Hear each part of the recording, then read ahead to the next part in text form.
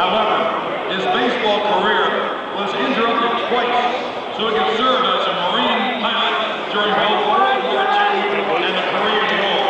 He's now in his 36th season as a regular voice for the San Diego Padres.